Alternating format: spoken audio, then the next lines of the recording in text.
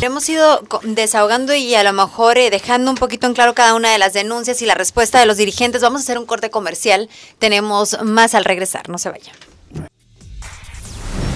Mesa de diálogo. Voto Baja California 2015.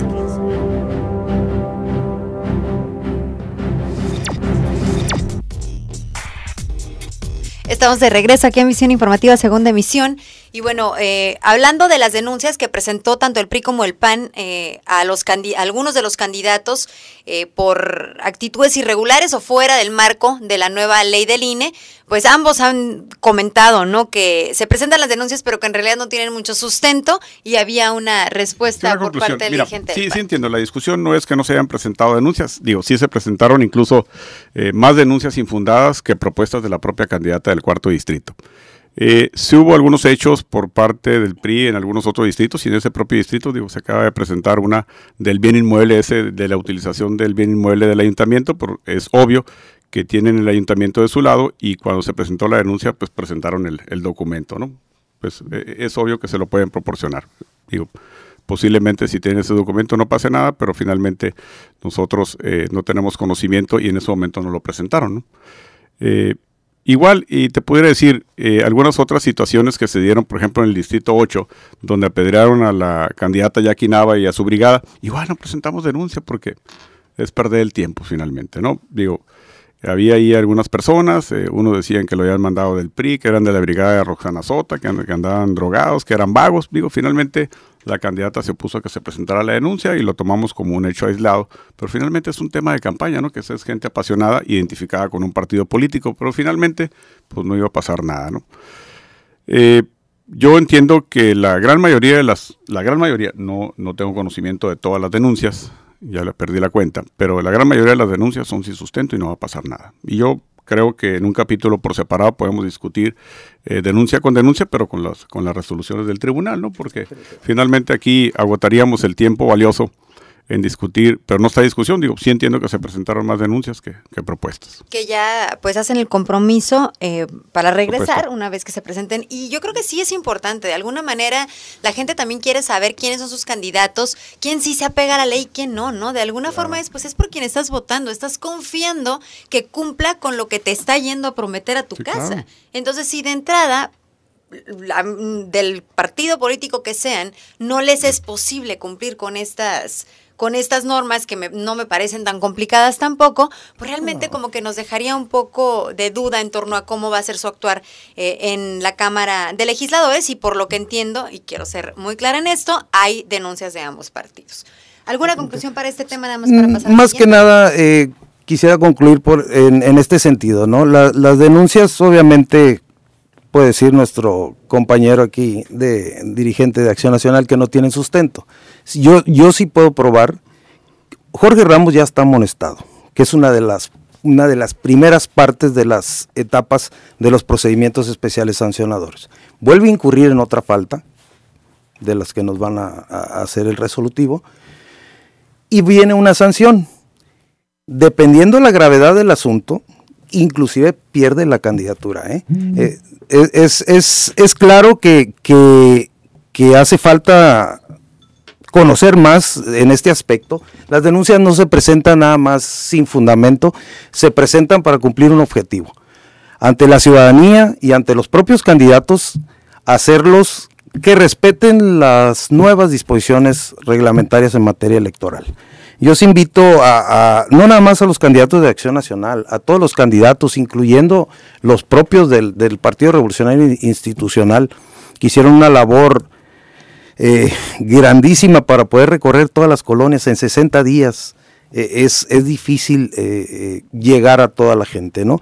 le reconozco ese esfuerzo, sé que se llevan lo mejor de la ciudadanía y sé que el día 7 de junio lo van a ver ya su compromiso ya fincado al votar por nuestro partido, ¿no? Para concluir esta mesa de diálogo, les pediría de favor que nos hablen de una propuesta concreta de la que ustedes consideran más relevante de sus candidatos, que obviamente hayan hecho en bancada, porque entendemos también que cada distrito tiene sus problemáticas y algunos eh, necesitan más unas cosas que otras, pero una, el eje principal, lo que ustedes consideran es lo más relevante. Mira, eh, la eh, propuesta principal de Acción Nacional es una propuesta a nivel nacional del tema de bajar el IVA al 11%.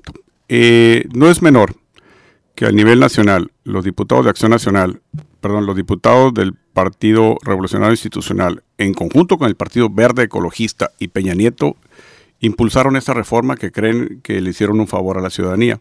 Finalmente, esta decisión de haber incrementado el IVA eh, ha afectado a la población, principalmente a la población fronteriza, en donde se ha incrementado la canasta básica en un 35% y como respuesta nos dicen que no pasa nada, que es pura percepción.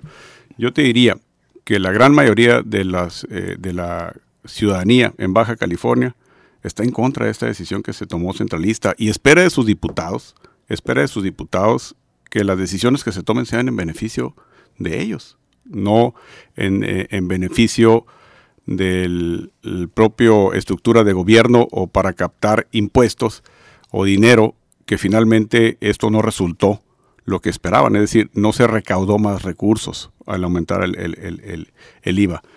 Lo que se está haciendo, y como decían en reiteradas ocasiones, se siguen construyendo hospitales, se siguen eh, construyendo carreteras, sí, pero lo que no dicen es de dónde están obteniendo ese recurso, que ese recurso se está obteniendo de las reservas que tiene el país, que dejó el gobierno de Felipe Calderón, de la estabilidad del dólar que dejó y que ahora se viene a disparar casi hasta 17 pesos ya y que el incremento del IVA, como no alcanza a recaudar y la base tributaria no alcanza porque la gente lo que está haciendo es dando de baja sus pequeños eh, negocios, pues no alcanzan, es obvio que no se alcanza a recaudar para el gasto público y lo que están haciendo entonces se están gastando el recurso de las reservas y se están gastando el dinero de los trabajadores de lo que ingresa por el seguro social.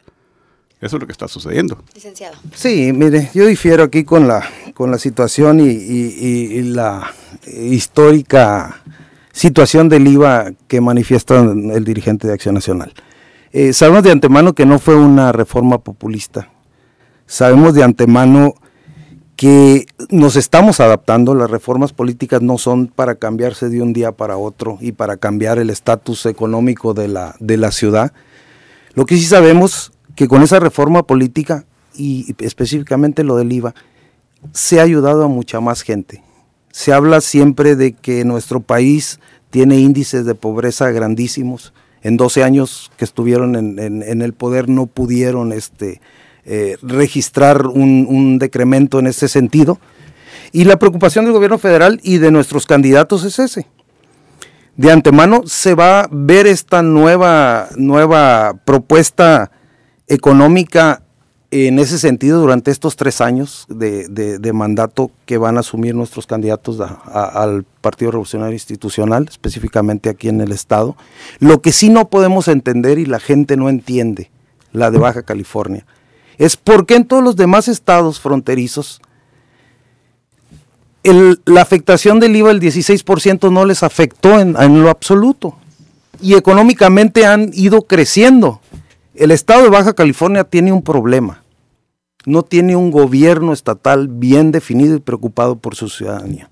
Yo con esto cierro. ¿eh? Tenemos que despedir, les agradezco muchísimo a ambos. Tenemos un comentario de Marco Adrián Neyoy, que por qué no invitamos al peso al PRD a esta mesa de diálogo. De hecho, sí, en, tele hubo una mesa de diálogo con Nueva Alianza y el PRD.